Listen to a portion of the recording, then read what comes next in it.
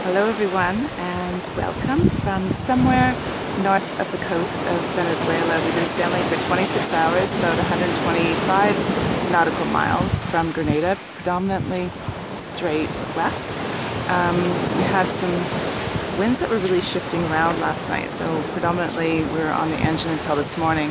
And now, um, since the wind is coming uh, straight from behind, or you can do a downwind sail, which means we can get our sails going wing on wing, which is what you see here. It's basically um, looks like two head sails out. Slightly different configuration than using your head sail and your and your main, but it's working really well.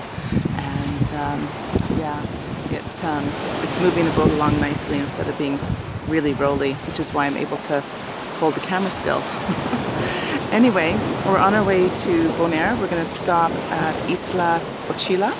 It's a, supposed to be an uninhabited island with spectacular reefs around it.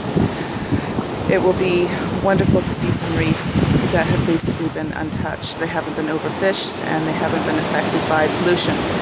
That's what we hear anyway, so we're going to go check that out. Um, might have some difficulty getting in there because the island itself is surrounded by the reefs and uh, have to take a really good close look at the charts to make sure we don't, um, you know, damage the boat or damage the reefs. But certainly don't want to damage the boat because um, that would cause us a significant problem.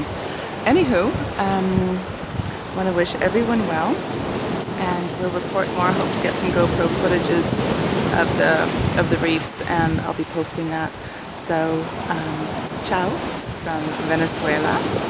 Wishing you all the best, wild blessings, and sending warm winds your way. Ciao.